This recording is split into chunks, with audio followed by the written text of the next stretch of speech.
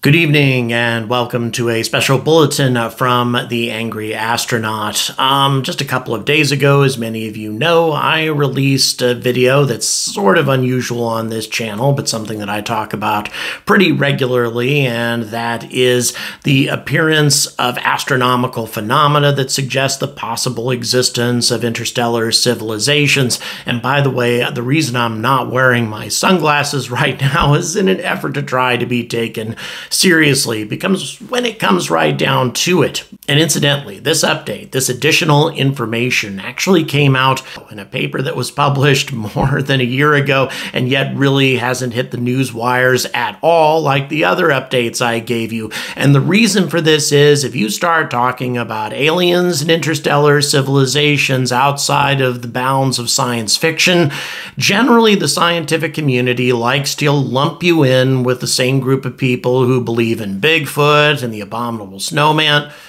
No, I'm actually going to be a little bit more specific about that. People who believe that the abominable snow monster of the north from Rudolph the Red-Nosed Reindeer is real.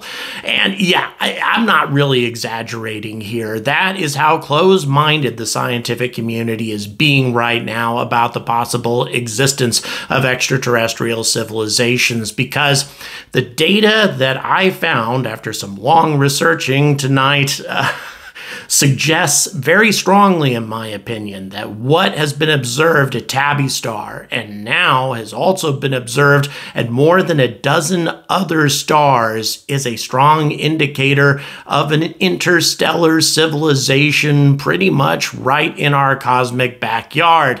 And if that sounds like an extreme claim, well, you're going to hear the data in just a moment.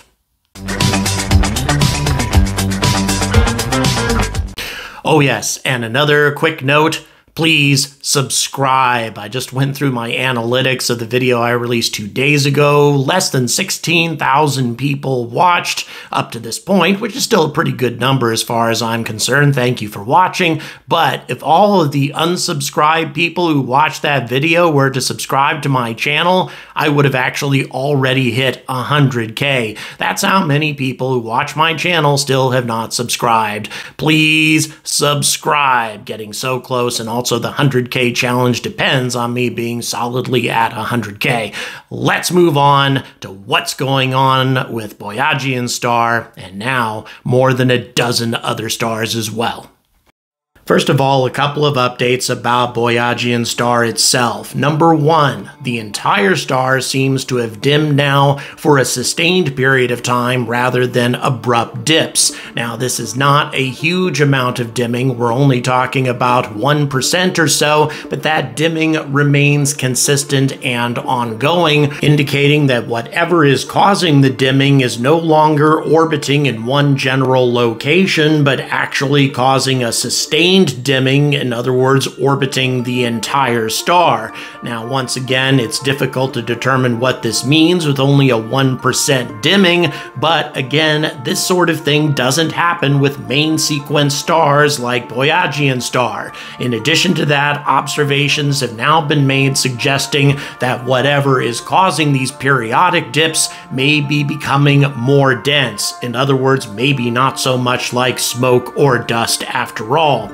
But it gets even more complicated than that, and a hell of a lot more spooky. In a paper by Edward G. Schmidt of the Department of Physics and Astronomy at the University of Nebraska in Lincoln, entitled A Search for Analogs of KIC 8462852 Boyajian Star, an effort was made to try to find other stars that might mirror the same kind of behavior that Boyajian Star has been demonstrating during the time that it's been observed. It was an exhaustive study of 485 stars of all different varieties, different locations, and also, of course, different classifications from red dwarfs to main sequence stars, pretty much every type of star you can think of. And out of those 485, 15 candidates were discovered. And this is where things start to get really spooky because nine of those 15 candidates were found to be clustered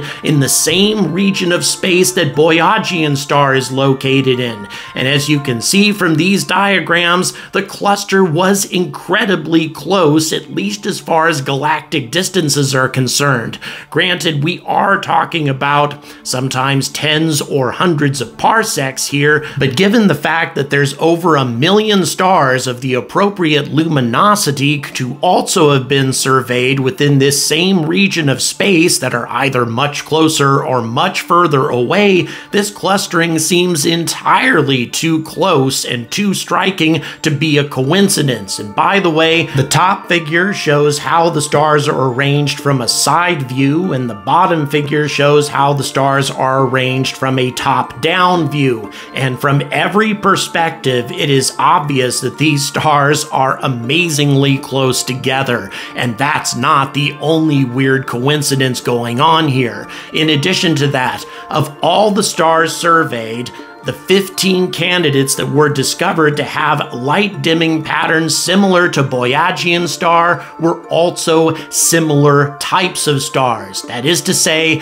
main sequence, either F-type stars like Boyajian star or G-class stars like ours. In other words, stars that are perfectly well suited to life as we understand it. G class stars are better than F class stars, but nevertheless, both classes of stars would be attractive to a species similar to our own. Now, some people have theorized that perhaps the dimming is being caused by interstellar dust between ourselves and Boyajian star, but given the fact that the dimming has only been detected with these 15 stars, all of which are the same class of star, and with no other stars that are in the same region of space, that explanation falls flat on its face as well. And it is at this point that the author of this paper begins to explore the possibility of extraterrestrial civilizations. Quote, since no fully satisfactory explanation for the behavior of Boyajian star and by extension the Dipper candidates has been found, it is premature to try to explain the existence of the clump. However, the possibility that extraterrestrial civilizations might have developed interstellar travel and expanded beyond their original planetary systems has been widely discussed in connection with the search for extraterrestrial intelligence, for example, in connection with the Fermi paradox. If this is actually possible, it could lead to a clump of stars with inhabited planets over an extended region of space. With these considerations in mind, I suggest that the Dippers in the clump and other stars in the same region would be appropriate targets for SETI searches. Unquote. So, this is very rare for people who publish these kinds of papers that aren't directly associated with UFO societies or something like that to begin to talk like this. But obviously, the evidence is becoming so compelling that even the Department of Physics and Astronomy at the University of Nebraska is beginning to wonder whether these phenomena are starting to look artificial. Smash that like, hit that subscribe, and please stay tuned for further updates. Also, hit those notification bells. And as always, stay angry about space.